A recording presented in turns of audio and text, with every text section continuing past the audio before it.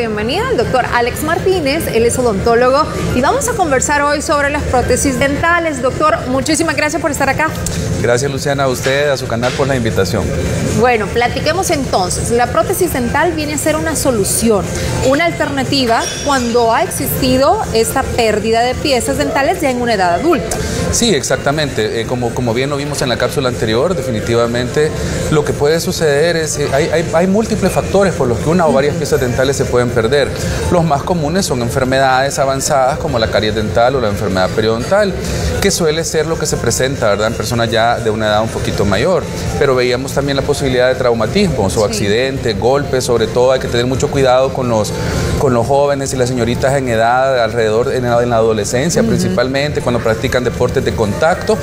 Siempre hay que tener los cuidados porque los traumatismos están es a la orden común, del día, es muy común. Sí, sí, sí, exactamente. Entonces, ahí es donde la asistencia de la prótesis dental tenemos que pensar en ella como una forma de rehabilitar la función y la estética pues perdida al, al, al, al, perder la, pieza, valga la. Interesante lo que usted nos menciona, porque ahí veía, en el video aparecía la pérdida de una pieza que se notaba que tal vez no es una pieza frontal, sino que puede haber sido una muela, pero como al, al no tener esa pieza, el resto de los dientes va cediendo. Entonces, muchas personas pueden pensar, ah, no, pero como no es visible, tal vez no necesito reemplazar.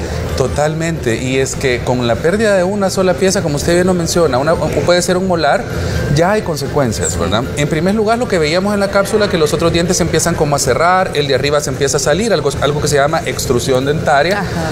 y los otros dientes empiezan a proclinar o a retroclinar. ¿Y qué es lo, qué es lo que pasa? Que el organismo intenta eh, eh, mantener un equilibrio. Él de alguna manera busca, eh, nuestro, nuestro organismo pues ha evolucionado de esa manera, ¿verdad? tratando de compensar deficiencias, pero no lo logra en definitiva porque ha perdido su función. Uh -huh. Entonces, eh, definitivamente es necesario rehabilitar de alguna manera. Siempre hay consecuencias. Las, las tres principales consecuencias de la pérdida dental, eh, ya sea parcial o total, pues son funcionales en primer lugar, porque no se puede ya hacer la masticación. Y recordemos que la masticación es el primer paso de la digestión. Sí. ¿verdad? Al no tener una, una masticación funcional, pues evidentemente vamos perdiendo la capacidad digestiva.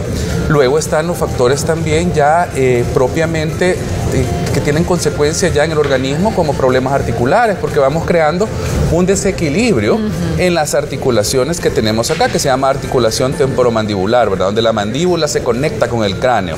Eso se va desequilibrando a medida que las piezas van faltando y trae consecuencias de largo plazo. Uh -huh. Por último, pero no menos importante, están las consecuencias pues estéticas y de autoestima, ¿verdad? Sí. Que ahí estamos hablando del sector anterior principalmente, Correcto. que una persona ya no se puede desenvolver normalmente en su entorno social si le faltan una o varias piezas de adelante, ¿verdad? Ok, al faltar una pieza dental, eh, ¿siempre una persona va a ser candidato a las prótesis dentales o, o, o dependiendo del caso?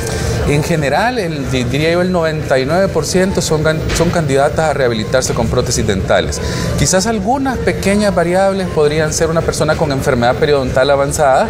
La enfermedad periodontal es aquella donde se va perdiendo el hueso que soporta los dientes sí. y los dientes se ponen flojitos, ¿verdad? Se ponen móviles.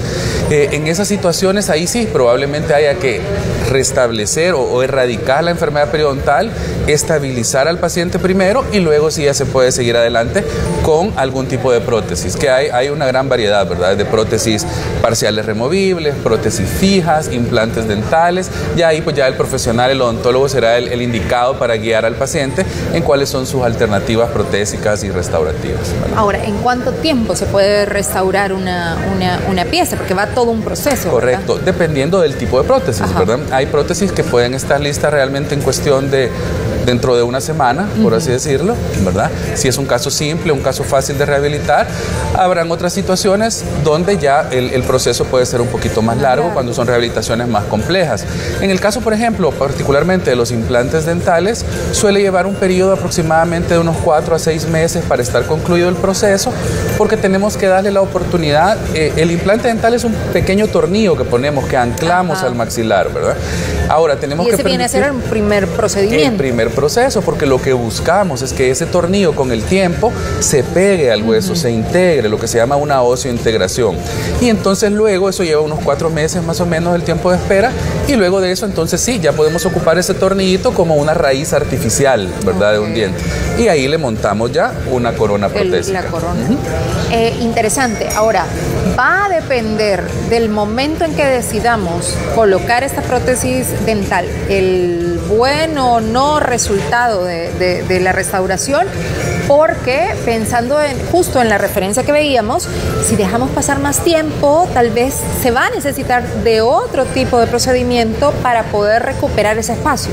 Totalmente, como usted lo ha descrito. Definitivamente siempre el abordaje temprano es preferible. suele ser lo mejor, ¿verdad? Así es. ¿Por qué? Porque veíamos, ¿verdad? Si, si una persona pierde una pieza eh, y, busca una rehabilitación rápido, entonces eh, generalmente es mucho más fácil eh, abordar el caso de manera efectiva, ya que si como veíamos, veíamos, los dientes se han movido, el de arriba se ha salido, por ejemplo, exacto, ha bajado. Eh, entonces ya hay que entrar en otra serie de procedimientos para poder estabilizar. Algunas veces incluso este tipo de pacientes necesitan ortodoncia primero, es decir, que un especialista les mueva esos dientitos, lo lleve a la posición que tenían originalmente para que el rehabilitador pueda colocar la prótesis en la posición idónea, ¿verdad? Y una vez esa prótesis ya se encuentre eh, eh, formando parte de la dentadura de ese paciente, ¿qué tipo de cuidados tiene que tener? Muy buena pregunta, eso es importantísimo porque debe cuidar incluso todavía. Bueno, debemos pensar que todos debemos cuidar nuestros dientes con mucha integridad, ¿verdad? Es decir, tenemos que ser muy meticulosos porque en la medida en que prevengamos y hagamos una higiene adecuada, pues vamos a tener dientes mucho más longevos, saludables, etcétera. Pero cuando ya hay prótesis dentales, como son rehabilitaciones, tenemos que cuidarnos aún más. Y dependiendo del tipo de prótesis, van a haber ciertas modificaciones, ciertas características especiales que van a tener que usarse dentro de la rutina de higiene bucal. Por ejemplo, cuando hay prótesis fijas, se necesita usar ciertos aditamentos. Hay un hilo dental especial, por ejemplo, para limpiar prótesis fijas, ¿verdad? Porque ya no se puede el paciente en, en, ciertos casos, pues pasar el hilo dental o la seda dental como, como lo hace entre sus dientes naturales. Entonces, tiene que usar ciertos aditamentos que le ayudan, eh, porque hay que a veces enhebrar, se puede decir, por la parte de abajo la prótesis para limpiar por ahí, ¿verdad? Eh, con los implantes dentales, cuando es un implante unitario, esto no sucede. Ahí sí se puede prácticamente limpiar, higienizar, casi como que dieras, como que fueran sus dientes naturales. Pero ahí, claro, ya será el profesional el que lo va orientando con las técnicas de higiene específicas que puede requerir su caso. Ok, bien interesante, la verdad que, que muy interesante poder conversar de estos temas, darles a ustedes la alternativa también para que puedan restaurar eh, su dentadura, su sonrisa, que es tan importante, y además también que las funciones de la digestión puedan ser las idóneas. Totalmente, ¿verdad? Recordemos, como le digo, esos tres pilares, ¿verdad? Son la, función eh, y por supuesto la estética y la autoestima. Y luego está también no olvidarse de lo que hablábamos, del equilibrio de todo el aparato eh, masticatorio, ¿verdad? Lo que llamamos el sistema estomatognático, porque esos desequilibrios pueden terminar afectando, como decía, la articulación temporomandibular que son las que tenemos acá, y eso sí puede generar problemas de dolores biofaciales, situaciones que se confunden con migrañas, dolores de cabeza, dolores de cuello, de espalda, que hay que identificar que muchas veces sus orígenes son por un desequilibrio en la dentición. sí justo yo he estado sufriendo de una lesión y me decían, revísese los dientes. Sí, sí, sí. Porque podría ser, ya le quitaron las cordales, no será eso que le está afectando. Ya a estas alturas es bien difícil, pero, pero, pero sí era una recomendación que me daba porque puede estar asociado. están asociados totalmente. Esos desequilibrios masticatorios tienen consecuencias a nivel articular. Entonces es una cosa que a veces se pasa por alto y es muy importante tomarla en cuenta. Perfecto. Doctor, muchísimas gracias. Gracias a ustedes por la invitación. Feliz día para usted. Continuamos, aparecían sus coordenadas en pantalla para las personas que deseen consultar. Nosotros continuamos con más de Viva la Mañana al regresar de la pausa.